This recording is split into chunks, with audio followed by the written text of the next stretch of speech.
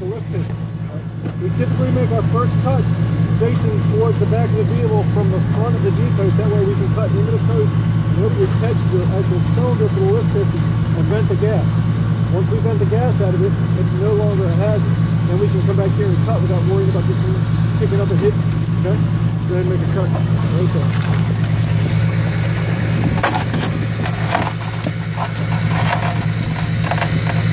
And right on the piston now. So once he breaks the piston, it's in the vent.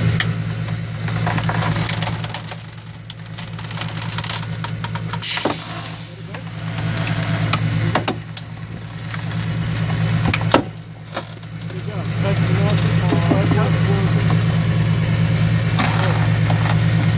It is not a big thing since last cut. We're going to lift the roof. Which way do you think we should go? Forward. That way. So we're going to take the glass over and take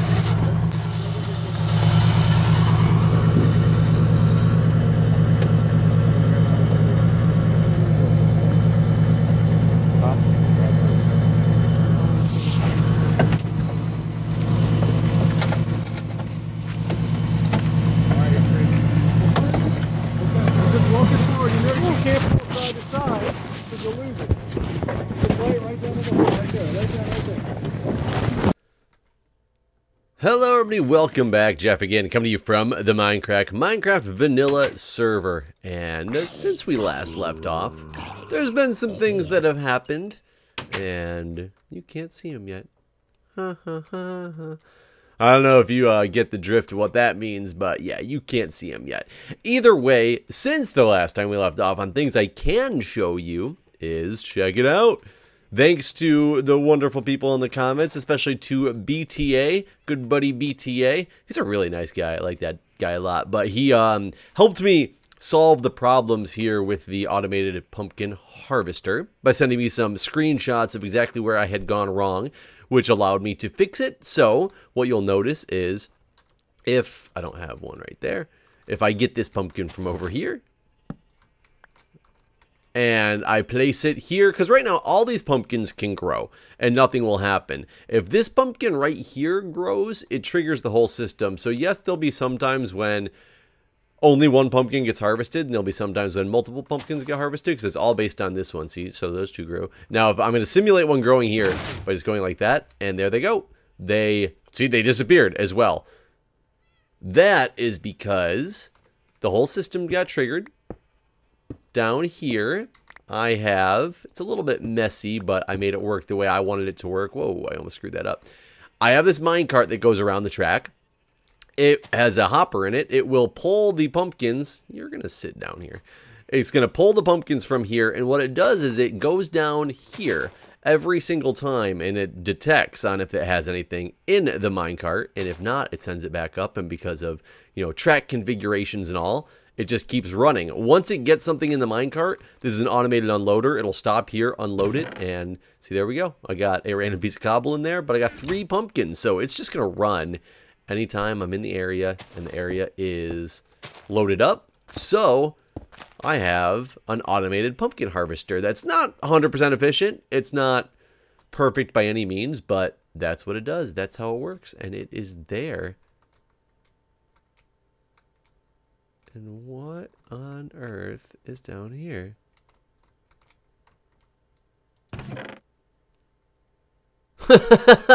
this must be the chest that was used when creating the polar bear. That is hilarious. Um, he just kind of used one of my creeper holes to hide a chest. I guess he didn't really need to hide it. In, in, in, case I logged on, I guess he'd run away. But it's not like this is an evil prank that is uh that is bad or anything like that. But this is where Arkas must have stored the supplies for Jeffrey the polar bear. Doop. That is that is funny. I uh I did not notice that until I caught that at just the right angle. I do need to get some snow and get this area all filled in and finish terraforming this whole region, which I've kind of stopped doing for a while because it's one of those things that I don't know how much you guys want to watch me doing that on camera. Um, and since I don't have much time when I'm not recording to play, I've stopped it for a while. I think we made some good progress, but I might do some more episodes of this on camera. somebody did suggest that I go over and I finish Connect 4 is what they said. So I'm not bringing supplies with me over there, but I'm going to go check it out because in my mind it was pretty much done. However, I haven't put any signs on it to let anybody know what it is. And I brought some signs with me, so we'll at least go mark it and show people what it is and what it could be. I guess it could be prettier, so I feel a little bit bad that it's not the most beautiful game, but it was it's a very simple game and it's there, but I would love if I uh, happen to be online when somebody else is online and we have some time to just play some games of Connect 4. Oh, I was going to replace the glass. That's right, because you guys had informed me that since I used glass panes, they were going to make a connection, and I never got more glass to replace that with. So I do still have to do that. I guess it's not done. Oh, and I was going to build this out somehow. That's right. Ah, so I do still have some work to do on this thing that I completely forgot about. But in the meantime, I can at least say Connect 4. There. At least people will somewhat know what it is, despite the fact that it's not like beautiful and pretty. But I like it. It works. Connect 4 reset rest switch reset switch it's a hovering sign of course it is i just love watching this minecart go Bing. oh, I love it. I love it. I wish I could cover this thing up more. Um, I do need to put some fences around it. You guys right? You're always right. I wasn't done. I guess I'll throw some fences around it right now since we're here because I I don't have anything planned. I don't know. I don't know what to tell you guys. I, I guess you should expect that from me by now. Um, that I'm not necessarily going to always have plans when I jump onto the server. I just uh, I'm out here having a good old time, man. Oh, so I'll tell you, I finished my rescue tech class this week, and I I've talked about this on the channel before, but some of the tests that they give us through the fire department are some of the most ridiculous tests I have ever taken in my life. And I am not kidding. This was one of those tests that they definitely expected you to read the book so like perfectly because all the questions were literally a specific line out of a book, which is exactly what test bank tests are, which gets really annoying. I think I've talked to you guys about test bank tests before. I don't like test bank tests at all because I don't believe they actually test a user's knowledge of things. What they end up doing is they end up testing. Can I put a fence? Not like that. I gotta hit this button again and hope it doesn't screw up. So hopefully, hopefully this still works. Uh, when you when you take a test bank test that pretty much takes a line out of a book, it's it's not judging whether you know the content or not when it when it tests you. What it's testing is if you've read the book to a T to be able to pull out one little line that might not have anything really major to do with any of the uh, any of the content. And this test was so difficult that because it, it was just so specific on things that weren't what we really discussed for the and it was mainly a practical course. It wasn't there was only one day of lecture and then there was six days of full days full eight hour days of straight up practical work working with um, Jaws of Life and things like that. If I remember, I'm going to throw a video on. So hopefully you have seen the video at the beginning of this. Is just us doing a little bit because I got a little bit of recording in during the class, but I think I got a, a good video of us doing some recording with the uh, the Jaws of Life and uh, cutting out the back end of a uh, of a car through the through the C pillar. Actually, it might have been the D pillar on this car because uh, I can't remember how many how many pillars it actually had, but Either way, it was one of the back pillars, and they were talking about the the hydraulic spring opening for the the lift gate on an SUV and how when you cut through it, it can make a popping sound and an explosion sound. So you got to be ready for it and don't don't let it freak you out because it will kind of be like and it could be like very well scare you if you're not prepared for it and ready. But either way, this test, what it was was these specific like one-liners out of this book. This book was 12 chapters long and each chapter was approximately like 50 pages. So I mean it was not a small book and they gave us a quote unquote study guide for the test at the very beginning of class. And what the study guide was, what it showed you week by week, all of the possible, um, the, the subjects that you were going to go over that specific week and the chapters out of the book on which those subjects would come. And all it said was like week one, chapters one, two, three, four, five, and six. Week two, chapters three, seven, and nine. Week three, er, or, or class three, and it, like that's exactly what it did. And unfortunately, it said the week six or week eight or whatever the final week was for the final exam. It was like chapters 1 through 12 is exactly what it said as the study guide. What do you need to prepare for for this week? The entire book is essentially what it said. And in these classes, you know, I know we're supposed to. Everybody knows you're supposed to, but people don't read. The, they don't just sit there and read the text. They hope that you're going to teach them a lot of the information that they they need to know. And we walked out of this exam, and the first thing that came out of one of the guys' mouths is he looked at the instructor and he goes, "So." What day are you scheduling the retake for this test for? Because it was that difficult of an exam. Luckily, we all did pass. Um, you have to get a 70 to pass, and you have to get a. If you don't get a 70, if you get above a 60, you can retake. And if you don't get above a 60, you fail. You just automatically fail the course. And you can retake once if you get a uh, somewhere between a 60 and a 70. You can retake one time, and if you fail, then you're you're done. Fail again, don't get a 70, you're done. And if you pass, then then you're, you're fine and you passed. Luckily, he got word before we started doing our practical portion of the exam. He says, "I just got word. Everybody did pass the written." He goes, "One of you passed by the skin of your teeth with a 70 percent."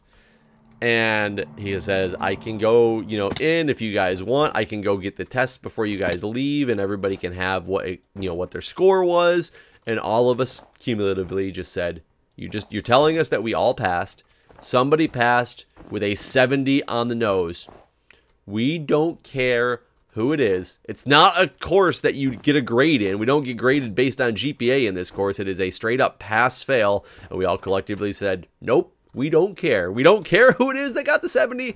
We don't care who got the highest grade in the class.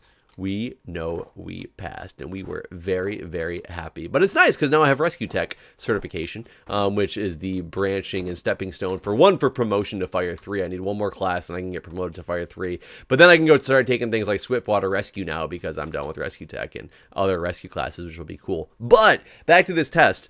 I am not kidding and I wish I could remember exactly what the test question was because I can't remember the exact question off the top of my head, but I stared at this question for like five minutes just in bewilderment that they could possibly ask a question like this because it said something about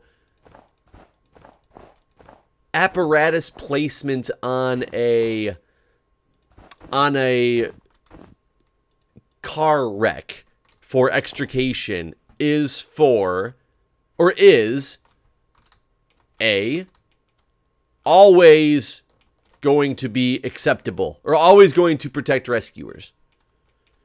Okay, first rule of test taking don't choose an always. Anything that says always, that's too much. It's, it's too much information. You're not gonna get the. You're you're not actually getting what you need out of that question. It's uh you. It, the answer is not gonna be always. B. Never adequate to protect rescuers. Another rule of test taking never choose. That's iron, isn't it? It is iron. Never choose a never. So, right off the bat, based on just test taking skills, you don't choose the. Oh, that's chords, damn it. I need to go get more. Yeah, I think I need to go get more snow in order to do anything else. Um, so, never choose always. Never choose never. So test taking skills, I already just eliminated A and B. C was sometimes adequate. And D was often adequate to protect rescuers. And I was like, literally did one of those, what? So your answers that you're giving me to choose from are A, it's always adequate to protect rescuers, B, it's never adequate to protect rescuers, C, it's sometimes adequate to protect rescuers, or D, it's often adequate to protect rescuers. I'm baffled. I'm baffled at this point because I have absolutely no idea if how you're quantifying the difference between an always, a never, a sometimes, and an often answer. That is some ridiculous test writing that I cannot believe that any organization would be able to get away with. I mean, how are you supposed to answer that question? I, I mean, I understand from the scheme that you shouldn't be answering the always or the never because those are obviously the wrong answer. But how do you justify the difference between often and sometimes? when those aren't exactly definitions that were it's not like those were definitions that were covered in the book i didn't sit there and read the book and the book was like the difference between often is often means this whereas sometimes means this Somewhere in the book, I guarantee there was a line that probably said, in my guess, I passed, so, I mean, everybody passed, so everybody might have thought the same thing. I figured, okay, we have specific apparatus staging for a reason. You're supposed to stage your big vehicles, your big, your engines stuff on a car accident. Let's say a car accident on a big expressway. You stage your big apparatus, your engines, your towers, you stage them behind the accident scene, blocking lanes of traffic to drive traffic around where you're going to be working. And then you stage your ambulance and your transporting unit in front of the accident scene with you know the hell as far toward where the blockers are blocking as you can. So if you're blocking like the left two lanes so that nobody can get around on the left side, you're going to put the ambulance to the left side where it's blocked the most and most protected, and most away from a lane of booming traffic. But so you have a an, a, a spot of egress. So once you make the transport decision and get the patient loaded up, you can have an egress. You can have an exit to leave with the patient and go to the hospital. And you're not stuck by the blockers. You're not stuck by the big backup of traffic that's going on. Things like that. My guess is that it's often adequate. That's why it's our SOPs, our, our standards of practice, because it's often going to be adequate. But at the same time, it's still sometimes adequate because that's also kind of one of the definitions of you know the, the, way things are going. I guarantee there was a line in the book somewhere that talked about apparatus staging, and it said something to the effect of just straight up. It was like the way we block apparatus or the way we stage apparatus for you know blocking during an extrication is often adequate to protect rescuers. I, I'm betting it said that line somewhere in the book. I just have absolutely no idea because I didn't read the book in that fine tooth comb mode. Uh, maybe I should have. Maybe it's my fault. Hey, I still pass, so I, I can't really, you know, be that upset about it. But that's when I look at tests like that, it, it kind of it makes me sad because as an instructor, you know, I teach a, a class through uh, through nursing um, in one of the nursing programs online. It's an online class about computers and computers and healthcare. I mean, it's my forte. It's kind of what I what I do and I teach this class. And when I first took over teaching this class, I mean, multiple other instructors teach it as well, but they used straight up test bank tests that people had to online tests that people had to take. And one of my biggest arguments from the beginning with the other instructors was let's get rid of these tests. These tests aren't helping people. It's a test about what to do in excel. Like what does this button on the toolbar in excel do? I'm like that's not really helping these people learn what we're trying to teach them. That's just trying to like drive into their head a specific little icon that they may or may not ever use because people don't always use the icons. Often people use menus, use shortcut keys. They know their ways around it. I didn't know what half the buttons were because I never used the buttons. They're new buttons since I learned Office. You know, but and these, so these tests were very specific and very hard, and people actually did very poorly on them because of that. And I, I ended up winning this battle because other people shared the same vision I did. It wasn't just me going like, "Oh, I don't like these tests." Other people were like, "You're right, but we need to get something else to replace them instead." So we made more practical versions of exams. So instead of them taking an online multiple choice exam now. Um, at these parts of the class, we put together a little bit more elaborate of a of a you know a homework assignment that they have to do and turn in. Um, but it's like turn in a word document that utilizes you know this type of font and this type of picture art and blah blah blah. You know whatever they learned in that you know chapter that they were dealing with is is how they're built now which is you know more it's practical. It's more it's more geared toward actually enforcing or reinforcing what you've learned not just if you can read a book that's you know the the instruction manual for Microsoft Office.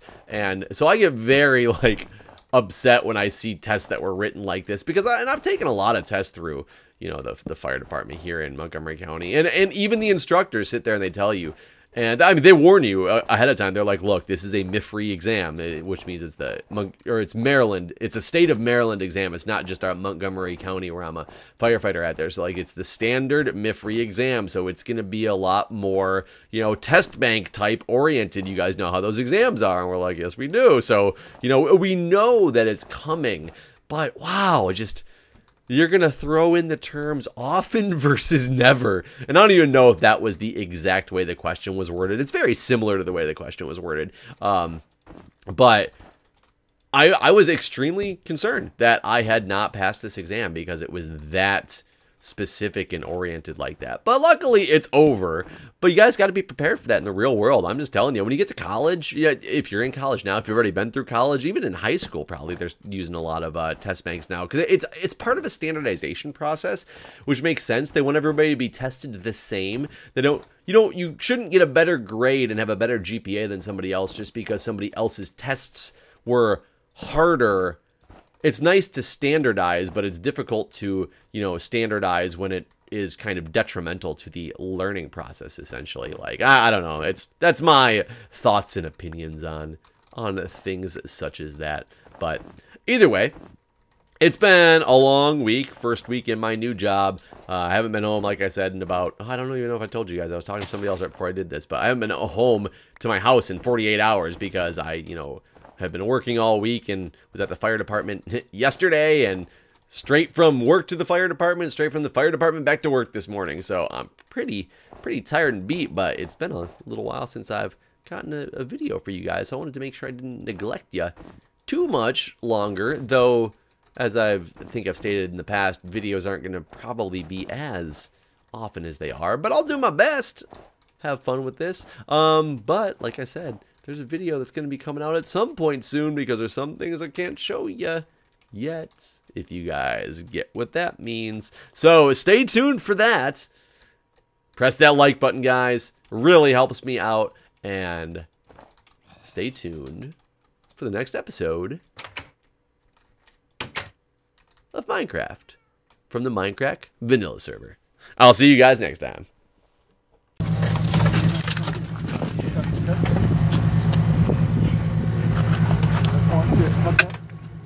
Cutting through the